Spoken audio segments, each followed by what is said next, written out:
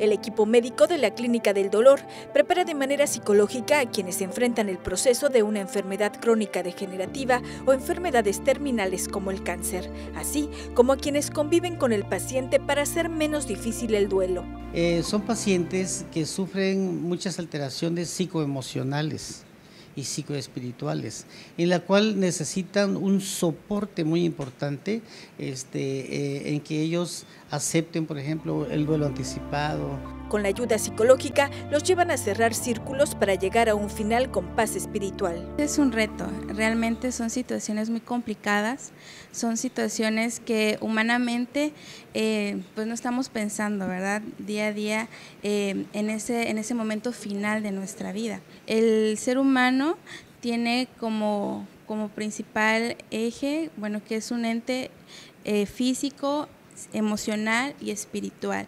Y de eso nos basamos para tratar cada área de la vida de la persona. Ansiedad, depresión, ira, miedo, culpa, negación, tristeza son sentimientos que la enfermedad genera. Está difícil porque nada más bien, vengo con mi tía y yo nada más y nadie más sin acompañarla pues.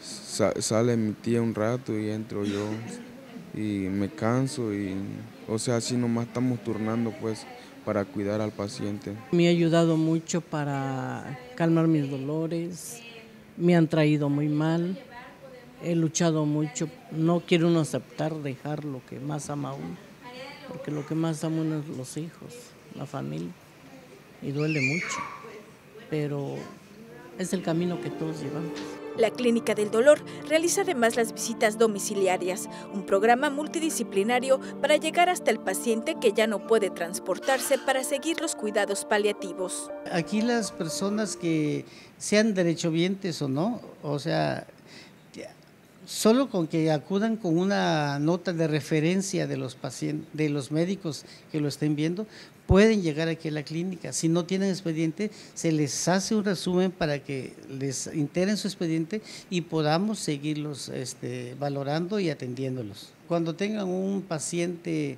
eh, con, síntomas eh, de un problema, de una enfermedad terminal, eh, y se, sale fuera de sus manejos, que con confianza nos lo envíen aquí. La Clínica del Dolor está ubicada en el Hospital Dr. Jesús Gilberto Gómez Maza en Tuxtla Gutiérrez.